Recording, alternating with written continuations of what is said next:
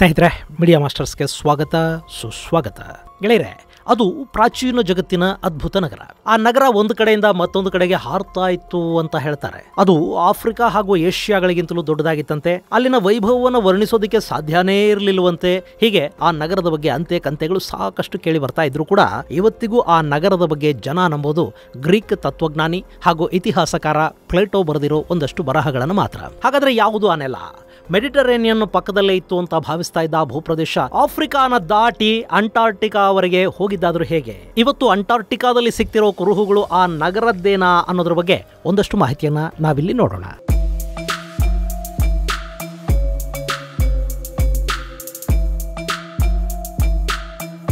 ಗೆಳೆಯರೆ, ಜಗತ್ತಲ್ಲಿ ಬುದ್ಧಿವಂತ ಪ್ರಾಣಿ ಯಾವುದು ಅಂತ ಕೇಳಿದ್ರೆ ತಕ್ಷಣ ಕೇಳಿಬರೋ ಉತ್ತರ ಏನು ಗೊತ್ತಾ? ಮನುಷ್ಯ ಅಂತ. ನಾವು ಹೇಗೆ ಅಂದ್ರೆ ನಮ್ಮನ್ನ ನಾವು ಬುದ್ಧಿವಂತರು ಅಂತ ಡಿಸೈಡ್ ಮಾಡ್ಕೊಂಡು ಬಿಟ್ಟಿದೀವಿ ಹೇಳ್ಕೋತಾನೂ ಇರ್ತೀವಿ. ಅಫ್ಕೋರ್ಸ್ ನಾವು ಚಂದ್ರನ ಮೇಲೆ ಕಾಲಿಟ್ಟಿದೀವಿ, ಮಂಗಳನ ಮೇಲೆ ಮನೆ ಕಟ್ಕೊಳ್ಳೋದಕ್ಕೆ ಸಾಧ್ಯವಾಗುತ್ತಾ ಅಂತ ನೋಡ್ತಾ ಇದ್ದೀವಿ ಕ್ಷಣಾರ್ಧದಲ್ಲಿ ಇಡೀ ಜಗತ್ತನ್ನ ನಾಶ ಮಾಡಿಬಿಡೋದಕ್ಕೆ ಬೇಕಾದ ಭಯಾನಕ ಆಯುಧಗಳನ್ನ ಕಂಡು ಹಿಡಿದಿದ್ದೀವಿ ಸ್ತ್ರೀ ಪುರುಷರ ಅಗತ್ಯ ಕೂಡ ಇಲ್ಲದೆ ಹೊಸ ಸೃಷ್ಟಿಯನ್ನ ಮಾಡೋದು ಹೇಗೆ ಅನ್ನೋದನ್ನು ನಾವು ಕಲ್ತಿದ್ದೀವಿ ಇನ್ನೇನು? ಸೃಷ್ಟಿ, ಸ್ಥಿತಿ, ಲಯ ಮೂರು ಗೊತ್ತಿದೆ ಅಂದ ಮೇಲೆ ಅವನಿಗಿಂತ ಶಕ್ತಿಶಾಲಿ, ಅವನಿಗಿಂತ ಬುದ್ಧಿವಂತ ಇನ್ಯಾರಿರೋದಕ್ಕೆ ಸಾಧ್ಯ? ಸೊ ಮನುಷ್ಯನೇ ಬುದ್ಧಿವಂತ. ಹಾಗಂತ ನಾವು ಬೀಗುತ್ತಿರುವಾಗಲೇ ನಿನ್ನಷ್ಟು ಮೂರ್ಖ ಯಾರೂ ಇಲ್ಲ ಅಂತ ಹೇಳೋ ಹಾಗೆ ಪ್ರಕೃತಿ ಮನುಷ್ಯನ ಮುಂದೆ ಸವಾಲುಗಳನ್ನ ಎಸಿತಾ, ಹೊಸ ಹೊಸ ಚಾಲೆಂಜ್ಗಳನ್ನ ನಮ್ಮ ಮುಂದಿಡ್ತಾ, ನೀನು ತೃಣ ಸಮಾನ ಅನ್ನೋದನ್ನ ತೋರಿಸ್ತಾ, ಹೋಗೋ ಹುಚ್ಚ, ನಿನಗಿಂತ ಹಿಂದಿನವರು, ನಿನಗಿಂತ ಸಾಕಷ್ಟು ಮುಂದುವರೆದಿದ್ರು ಅಂತ ನಮ್ಮನ್ನ ಕೆಣಕ್ತಾ, ಅದಕ್ಕೆ ಬೇಕಾದ ಸಾಕ್ಷ್ಯಗಳನ್ನ ಕೂಡ ನಮ್ಮ ಮುಂದೆ ಆಗಾಗ ಇಡ್ತಾ, ನಮ್ಮ ಜೊತೆ ಒಂದು ಆಟ ಆಡ್ತಲೇ ಇರುತ್ತೆ. ಹಾಗೆ ಮನುಷ್ಯನಿಗಿನ್ನೂ ಅರ್ಥವಾಗದ ಅರಿವಿಗೆ ನಿಲುಕದ ಅದಮ್ಯ ರಹಸ್ಯಗಳು ಈ ಜಗತ್ತಲ್ಲಿ ಸಾಕಷ್ಟಿವೆ. ಅಂಥದ್ರಲ್ಲಿ ಒಂದು ಅಟ್ಲಾಂಟಿಸ್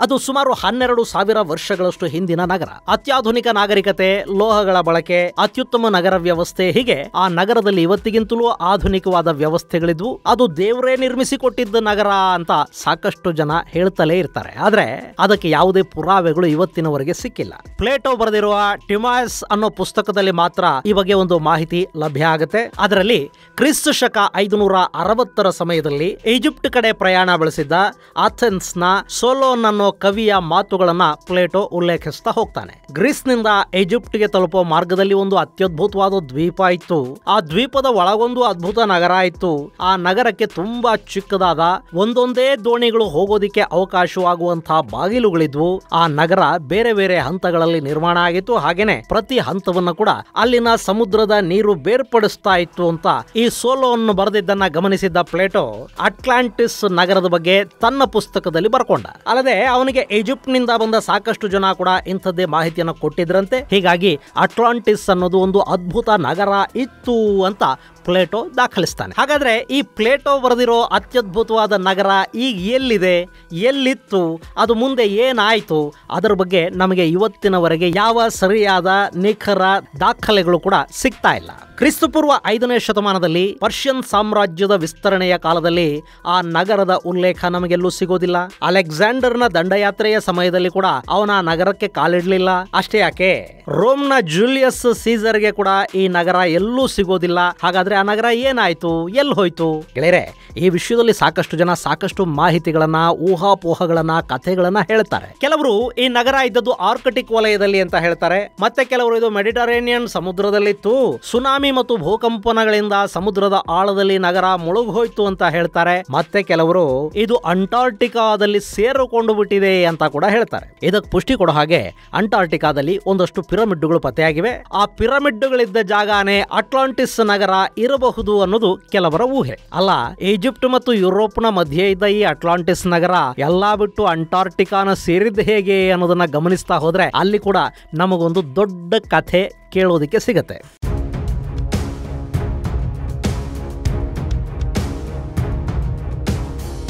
ಈ ಅಂಟಾರ್ಟಿಕಾ ಇದೆಯಲ್ಲ, ಇದು ನಮಗೆ ಹೊಸ್ತೇನಲ್ಲ. ನಾವು ಶಾಲೆ ಕಲಿಯುವಾಗಿಂದ ಇದ್ರ ಬಗ್ಗೆ ತಿಳ್ಕೋದಲ್ಲೇ ಬಂದಿವಿ. ಭೂಮಿಯಾಗಿ ಏಳು ಖಂಡಗಳದಾವು, ಅದರಾಗ ಒಂದು ಅಂಟಾರ್ಟಿಕಾ ಇಲ್ಲಿ ಮ್ಯಾಪ್ ಅಲ್ಲಿ ನೀವು ನೋಡ್ತಾ ಇದೀರಲ್ಲ ಇದು ಅಂಟಾರ್ಟಿಕಾ ಇದು ಹಿಮಾಚ್ಛಾದಿತ ಪ್ರದೇಶ. ವಿಶ್ವದ ಅತಿ ದೊಡ್ಡ ಖಂಡಗಳ ಸಾಲಲ್ಲಿ ಅಂಟಾರ್ಟಿಕಾ ಅನ್ನೋದು ಐದನೇ ಸ್ಥಾನವನ್ನು ಪಡ್ಕೊಳ್ಳುತ್ತೆ. ಆದ್ರೆ ಏನು ಮಾಡೋದು? ಸಿಕ್ಕಾಪಟ್ಟೆ ಹಿಮ ಇಲ್ಲಿ ಆವರಿಸಿಕೊಂಡಿರುತ್ತೆ. ಇಲ್ಲಿನ ವಿಪರೀತ ಹವಾಮಾನ ಮನುಷ್ಯನನ್ನ ಇಲ್ಲಿ ಸುಲಭವಾಗಿ ಬದುಕೋದಕ್ಕೆ ಬಿಡೋದಿಲ್ಲ. ಆದ್ರೂ ಕೂಡ ನಾನಾ ದೇಶಗಳು ಈ ಅಂಟಾರ್ಟಿಕಾ ಮೇಲೆ ಕಬ್ಜಾ ಮಾಡೋ ಪ್ರಯತ್ನವನ್ನೇನು ಬಿಟ್ಟಿಲ್ಲ. ಇಲ್ಲಿ ಕೂಡ ಜಗತ್ತಿನ ಒಂದಷ್ಟು ಬಲಿಷ್ಠ ಬಲಿಷ್ಠ ರಾಷ್ಟ್ರಗಳು ಇದು ನಮ್ಮದು, ಇದು ನಿಮ್ಮದು ಅಂತ ಬಾವುಟ ಹಾಕಿ ಬಂದಿವೆ. ಮನುಷ್ಯ ವಾಸಕ್ಕೆ ಯೋಗ್ಯವೇ ಅಲ್ಲದ ಈ ನೆಲದ ಮೇಲೆ ಬಾವುಟ ಹಾರಿಸಿ ಅವ್ರು ಏನು ಮಾಡ್ತಾರೆ ಅಂತ ನಿಮ್ಗೆ ಅನ್ನಿಸ್ಬೋದು? ಯಾರು ಸುಮ್ ಸುಮ್ನೆ ಏನು ತಗೋಬೇಕು ಅಂತ ಅಂದ್ಕೊಳ್ಳೋದಿಲ್ಲ. ಇದು ಜನವಸತಿ ಕಡಿಮೆ ಇರೋ ಪ್ರದೇಶ ಅನ್ನೋದು ನಿಜ ಆದ್ರೆ ಇಲ್ಲಿ ಭಯಾನಕ ರಹಸ್ಯಗಳ ಆಗರವೇ ಇದೆ. ಇದರ ಬಗ್ಗೆ ಸಂಶೋಧನೆ ಮಾಡೋದಕ್ಕೆ ನಾನಾ ದೇಶಗಳ ವಿಜ್ಞಾನಿಗಳು ಇಲ್ಲಿಗೆ ಬರ್ತಾರೆ. ಭಾರತ ಕೂಡ ಅಲ್ಲಿ ಒಂದು ಬಾವುಟವನ್ನು ಹಾರಿಸಿದೆ. ಈ ಅಂಟಾರ್ಟಿಕಾದ ಲಾರ್ಸಮನ್ ಹಿಲ್ಸ್ನಲ್ಲಿ ನಮ್ಮ ಹೆಮ್ಮೆಯ ಇಸ್ರೋ ಭಾರತಿ ಹೆಸರಿನ ಒಂದು ಅಬ್ಸರ್ವೇಷನ್ ಸ್ಟೇಷನ್ ಅನ್ನು ಮಾಡಿಕೊಂಡಿದೆ. ಅದನ್ನ Antarctica ground station for earth observation satellites A S ಅಂತ ಕರೀತಾರೆ. ಇನ್ನು ಇಲ್ಲಿ ನಾನಾ ದೇಶಗಳು ನಾನಾ ರೀತಿಯ ಸಂಶೋಧನೆಗಳನ್ನು ನಡೆಸ್ತಾ ಇವೆ. ಎರಡ್ ಸಾವಿರದ ಹದಿನಾಲ್ಕರಲ್ಲಿ ಇಲ್ಲಿ ಮನುಷ್ಯನ ತಲೆಬುರುಡೆಗಳು ದೊರೆತಿದ್ವು. ಅವಿಲ್ಲಿ ಸಿಕ್ಕ ಮನುಷ್ಯನ ಮೊಟ್ಟ ಮೊದಲ ಅವಶೇಷಗಳು ಅಂತ ಅನ್ನಿಸ್ಕೊಂಡು, ಈ ತಲೆಬುರುಡೆಗಳು ಜಗತ್ತಿನ ಇನ್ನಿತರ ಕಡೆಗಳಲ್ಲಿ ವಾಸ ಮಾಡೋ ಮನುಷ್ಯರ ಬುರುಡೆಗಳಿಗಿಂತ ಸ್ವಲ್ಪ ಉದ್ದ ಇದ್ವು. ಹೀಗಾಗಿ ಇವು ಈ ಹಿಂದೆ ಈಜಿಪ್ಟ್ ಮತ್ತು ಪೆರು ದೇಶಗಳಲ್ಲಿ ಸಿಕ್ಕ ತಲೆಬುರುಡೆಗಳನ್ನ ಹೋಲುತ್ತವೆ ಅಂತ ವಿಜ್ಞಾನಿಗಳು ಹೇಳಿದರು. ಹೀಗಾಗಿ ಪ್ರಾಚೀನ ಕಾಲದಲ್ಲಿ ಒಂದಷ್ಟು ಜನ ಈಜಿಪ್ಟ್ನಿಂದಲೋ, ಪೆರುವಿಂದಲೋ ಈ ಅಂಟಾರ್ಟಿಕಾಗೆ ಹೋಗಿರಲೂಬಹುದು ಅಥವಾ ಅಲ್ಲಿ ಕೂಡ ಒಂದಷ್ಟು ಜನವಸತಿ ಇದ್ದು ಎರಡೂ ಭಾಗಗಳಲ್ಲಿನ ಜನರ ನಡುವೆ ಸಂಪರ್ಕ ಕೂಡ ಇದ್ದಿರಬಹುದು ಅಂತ ವಿಜ್ಞಾನಿಗಳು ಭಾವಿಸಿದ್ರು. ಬಹುಶಃ ಆ ತಲೆಬುರುಡೆಗಳನ್ನ ಕಾರ್ಬನ್ ಡೇಟಿಂಗ್ಗೆ ಒಳಪಡಿಸಿ ನಿಖರವಾದ ಮಾಹಿತಿಯನ್ನ ವಿಜ್ಞಾನಿಗಳು ಹೊರಗೆ ಹಾಕಿಬಿಟ್ಟಿದ್ರೆ ಇಲ್ಲಿ ಊಹಾಪೋಹಗಳಿಗೆ ಅವಕಾಶಗಳಿರ್ತಿರ್ಲಿಲ್ವೇನೋ? ಆದ್ರೆ ಆ ತಲೆಬುರುಡೆಗಳ ಕಾಲಮಾನ ಯಾವುದು ಅನ್ನೋದರ ಬಗ್ಗೆ ನಿಖರ ಮಾಹಿತಿಯಲ್ಲಿ ಹೊರಬೀಳಲಿಲ್ಲ. ಹೀಗಾಗಿ ಆ ಬುರುಡೆಗಳ ಸುತ್ತ ಕಥೆಗಳು ಹುಟ್ಕೊಳ್ಳೋದಕ್ಕೆ ಶುರುವಾದವು. ಅಲ್ಲಿ ಸಿಕ್ಕ ಅವಶೇಷಗಳನ್ನ ಅತ್ಯಂತ ಪುರಾತನ ನಗರ ಅಂತ ನಂಬಿರೋ ಅಟ್ಲಾಂಟಿಸ್ ಜೊತೆ ತಳಕ್ ಹಾಕೋ ಕೆಲಸ ಕೂಡ ಶುರುವಾಯಿತು. ಯಾವುದೋ ಕಾಲದಲ್ಲಿ ಕಾಣೆಯಾಯಿತು ಅಂತ ಹೇಳಲಾಗುವ ಅಟ್ಲಾಂಟಿಸ್ ನಗರ ಇದೇ ಅಂಟಾರ್ಟಿಕಾದ ಹಿಮಪದರಗಳ ನಡುವೆ ಅಡಗಿ ಕೂತಿದೆ ಅನ್ನೋ ವಾದ ಇಲ್ಲಿ ಹುಟ್ಕೊಳ್ತು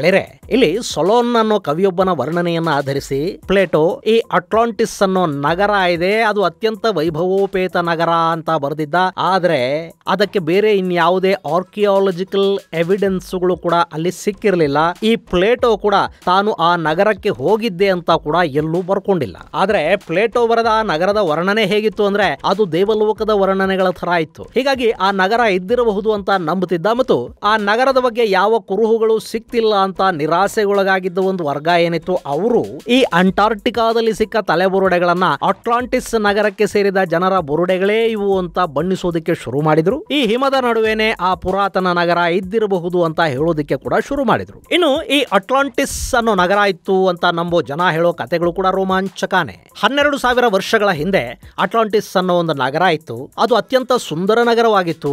ಆದರೆ ಕ್ರಿಸ್ತ ಹುಟ್ಟೋದಿಕ್ಕೆ ಹನ್ನೊಂದು ಸಾವಿರದ ಆರುನೂರು ವರ್ಷಗಳ ಹಿಂದೆ ಸಂಭವಿಸಿದ್ದ ಭಯಾನಕ ಪ್ರಳಯದ ಕಾರಣ ಅಟ್ಲಾಂಟಿಸ್ ನಾಶ ಆಯಿತು ಅನ್ನೋದು ಒಂದಷ್ಟು ಜನರ ವಾದ. ಈ ಮಹಾಪ್ರಳಯ ಇಡೀ ಭೂಮಿಯ ವಾತಾವರಣವನ್ನು ಬದಲಿಸಿಬಿಡ್ತು. ಒಂದಷ್ಟು ಪ್ರದೇಶಗಳು ಹಿಮಾಚ್ಛಾದಿತವಾದವು, ಮತ್ತಷ್ಟು ಸಮುದ್ರದಲ್ಲಿ ಮುಳುಗಹೋದವು, ಇನ್ನಷ್ಟು ಸಮುದ್ರದಿಂದ ಮೇಲೆ ಬಂದವು, ಕೆಲವಷ್ಟು ಭೂಮಿ ಮರಳುಗಾಡಾಯಿತು. ಆ ಮಹಾಪ್ರಳಯದ ಸಂದರ್ಭದಲ್ಲೇ ಈ ಅಟ್ಲಾಂಟಿಸ್ ಮುಳುಗಿ ಹೋಗಿರುವ ಸಾಧ್ಯತೆ ಇರುತ್ತೆ ಅನ್ನೋದು ಅಟ್ಲಾಂಟಿಸ್ ಇತ್ತು ಅಂತ ನಂಬುವ ಜನರ ವಾದ. ಇನ್ನು ಯು ಎಫ್ ಒಗಳ ಬಗ್ಗೆ ವಿಪರೀತವಾಗಿ ಮಾತಾಡುವ fiction writer Giorgio Tsoukalos Atlantis ಅನ್ನೋ ನಗರ ಹಾರಿ ಹೋಗಿರಬಹುದು ಅನ್ನೋ ಸಂಶಯವನ್ನು ವ್ಯಕ್ತಪಡಿಸ್ತಾನೆ. ಆಗಿನ ನಾಗರಿಕತೆಯ ಜನ ಎಲ್ಲ ವಿಜ್ಞಾನ ಮತ್ತು ತಂತ್ರಜ್ಞಾನಗಳಲ್ಲಿ ಸಾಕಷ್ಟು ಮುಂದಿದ್ರು. ಖಂಡಾಂತರ ಹಾರಾಟ ಮತ್ತು ಬಾಹ್ಯಾಕಾಶದ ಬಗ್ಗೆ ಅವರಿಗೆ ಸಾಕಷ್ಟು ಮಾಹಿತಿ ಇತ್ತು. ಹೀಗಾಗಿ ಅವರು ಪ್ರಳಯದ ಕಾಲಕ್ಕೆ ಅಲ್ಲಿಂದ ಬೇರೆ ಕಡೆಗೆ ಹಾರಿ ಹೋಗಿರುವ ಸಾಧ್ಯತೆಗಳಿವೆ ಅಂತ ಈ ಸುಕೋಲೋಸ್ ತರದ ಹಾರುವ ಆಬ್ಜೆಕ್ಟ್ಗಳ ಬಗ್ಗೆ ಮಾತಾಡೋ ಜನ ಹೇಳ್ತಾರೆ. ಆದ್ರೆ ಹನ್ನೆರಡು ಸಾವಿರ ವರ್ಷಗಳ ಹಿಂದೆ ಅಟ್ಲಾಂಟಿಸ್ ಅನ್ನೋ ನಗರ ಹೀಗಿತ್ತು. ಹೀಗಿದ್ದಿರಬಹುದು ಅಂತ ಹೇಳಲಾಗ್ತಾ ಇದೆಯೇ ಹೊರತು ಅಂತ ನಗರ ಇತ್ತು ಅಂತ ಹೇಳೋದಕ್ಕೆ ಬೇಕಾದ ಯಾವ ಐತಿಹಾಸಿಕ ಪುರಾವೆಗಳು, ನಿಖರ ಉಲ್ಲೇಖಗಳು ಎಲ್ಲೂ ಸಿಕ್ಕಿಲ್ಲ. ಹೀಗಾಗಿ ಅಲ್ಲೊಂದು ನಗರ ಇತ್ತು. ಅಲ್ಲಿದ್ದ ಜನ ಹಾರ್ಕೊಂಡು ಹೋದ್ರು. ಆ ನಗರಾನೇ ಹಾರಿಸ್ಕೊಂಡು ಹೋದ್ರು ಅಂತ ಹೇಳಿದ್ರೆ ನಂಬೋದಾದ್ರೂ ಹೆಂಗ್ರಿ ಅನ್ನೋದು ಇತಿಹಾಸಕಾರರ ಪ್ರಶ್ನೆ.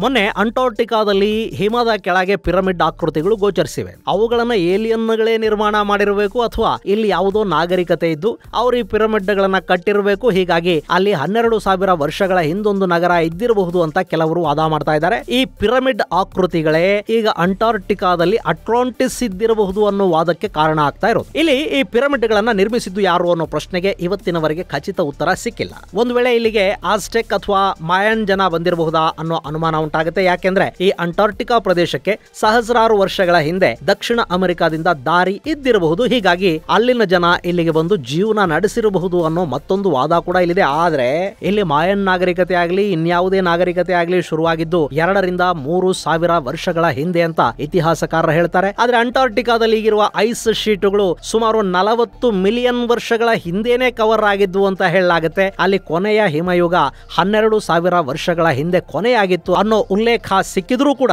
ಅಷ್ಟೊತ್ತಿಗಾಗಲೇ ಅಂಟಾರ್ಟಿಕಾದಲ್ಲಿ ಹಿಮ ಆವರಿಸಿಕೊಂಡು ಬಿಟ್ಟಿತ್ತು ಸೊ, ಸಾವಿರಾರು ವರ್ಷಗಳ ಹಿಂದೆ ಇಲ್ಲಿ ಮನುಷ್ಯ ಹೇಗೆ ಪಿರಮಿಡ್ಗಳನ್ನು ನಿರ್ಮಾಣ ಮಾಡೋದಕ್ಕೆ ಸಾಧ್ಯ ಆಯಿತು ಅನ್ನೋ ಪ್ರಶ್ನೆ ಕೂಡ ಇಲ್ಲಿ ಕಾಡದೇ ಇರೋದಿಲ್ಲ. ಇನ್ನು ಈಗ ಸಿಕ್ಕಿರೋ ಪಿರಮಿಡ್, ನ್ಯಾಚುರಲ್ ಪಿರಮಿಡ್ ಕೂಡ ಆಗಿರಬಹುದು ಅಂತ ಕೆಲ ಸಂಶೋಧಕರು ವಾದಿಸ್ತಾರೆ. ಹೇಗೆ ಕೈಲಾಸ ಪರ್ವತವನ್ನ ಒಂದು ಪಿರಮಿಡ್ ಅಂತ ಜಗತ್ತಿನ ಕೆಲ ಸಂಶೋಧಕರು ನಂಬುತ್ತಾರೋ ಅಂಟಾರ್ಟಿಕಾದಲ್ಲಿ ಕೂಡ ಹಾಗೆ ಆಗಿರಬಹುದು ಅನ್ನೋ ವಾದ ಕೂಡ ಇಲ್ಲಿದೆ.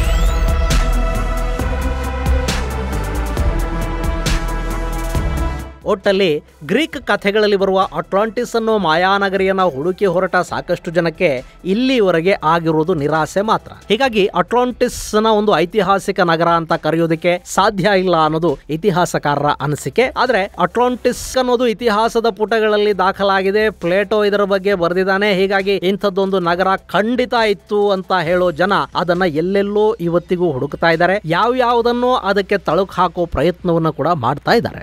ಅದರಲ್ಲೂ ಮೆಡಿಟರೇನಿಯನ್ ಸಮುದ್ರದ ಆಳದಲ್ಲಿ ನಗರ ಏನಾದರೂ ಇದೆಯಾ ಅನ್ನೋದರ ಬಗ್ಗೆ ಕೂಡ ಸಂಶೋಧಕರು ಹುಡುಕಾಟವನ್ನು ನಡೆಸ್ತಾ ಇದ್ದಾರೆ. ಅಲ್ಲಿನ ಏಜಿಯನ್ ಸಮುದ್ರದ ಆಳದಲ್ಲಿ ಮುಳುಗಿರುವ ನಗರವೊಂದರ ಅವಶೇಷಗಳಿಗಾಗಲೇ ಪತ್ತೆ ಆಗಿವೆ ತ್ರೀ ಡಿ ಇಮೇಜಿಂಗ್ನ ಮೂಲಕ ಆ ಪ್ರದೇಶದ ಬಗ್ಗೆ ಹೆಚ್ಚಿನ ಮಾಹಿತಿಯನ್ನ ಸಂಶೋಧಕರು ಪಡ್ಕೊಂಡಿದ್ದಾರೆ. ಅಲ್ಲೊಂದು ನಗರ ಇತ್ತು ಅನ್ನೋದನ್ನ ಅಲ್ಲಿನ ಕಲ್ಲಿನ ಕಟ್ಟಡಗಳು ಹೇಳ್ತಾ ಇವೆ. ಆದ್ರೆ ಇದೇ ಅಟ್ಲಾಂಟಿಸ್ ನಗರನ ಈ ಬಗ್ಗೆ ಸ್ಪಷ್ಟ ನಿರ್ಧಾರಕ್ಕೆ ಬರೋದಕ್ಕೆ ಇವತ್ತಿಗೂ ಸಾಧ್ಯ ಆಗ್ತಿಲ್ಲ. ಯಾಕೆಂದ್ರೆ ಆ ನಗರದ ಇರುವಿಕೆಯ ಬಗ್ಗೆ ಪ್ಲೇಟೋ ಬರೆದಿರೋ ಮಾಹಿತಿಗೂ ಈಗ ಸಿಗ್ತಾ ಇರೋ ಸ್ಥಳಕ್ಕೂ ಸಾಕಷ್ಟು ವ್ಯತ್ಯಾಸ ಇದೆ. ಹೀಗಾಗಿನೇ ಈ ಬಗ್ಗೆ ಇನ್ನಷ್ಟು ಸಂಶೋಧನೆಗಳು ನಡೀತಾ ಇವೆ. ಒಟ್ಟಲ್ಲಿ ಕಳೆದು ಹೋಗಿರೋ ಅಟ್ಲಾಂಟಿಸ್ ನಗರಕ್ಕಾಗಿ ಅಂಟಾರ್ಟಿಕಾದಲ್ಲಿ ಮೆಡಿಟರೇನಿಯನ್ ಸಮುದ್ರದಲ್ಲಿ ಹುಡುಕಾಟ ಅನ್ನೋದು ನಡೀತಲೇ ಇದೆ. ಒಂದು ವೇಳೆ ಆ ನಗರ ಏನಾದರೂ ಇದ್ದಿದ್ದೆ ಆದ್ರೆ ಒಂದಲ್ಲ ಒಂದಿನ ಮನುಷ್ಯನ ಕಣ್ಣಿಗೆ ಅದು ಖಂಡಿತ ಬಿದ್ದೆ ಬೀಳುತ್ತೆ. ಹೇಗೆ? ನಮ್ಮ ಮುಳುಗಿ ಹೋದ ದ್ವಾರಕಾ ನಗರ ಸಂಶೋಧಕರ ಕಣ್ಣಿಗೆ ಬಿತ್ತು. ನಮ್ಮ ಮಹಾಬಲಿಪುರಂನ ಅದ್ಭುತಗಳು ಸಾಗರದ ಆಳದಲ್ಲಿ ನಮಗೆ ಹೇಗೆ ಕಾಣಸಿಕ್ವು? ಅದೇ ತರ ಅಕಸ್ಮಾತ್ ಇದ್ದಿದ್ದೆ ಆದ್ರೆ ಈ ಅಟ್ಲಾಂಟಿಸ್ ಕೂಡ ಇವತ್ತಲ್ಲ, ನಾಳೆ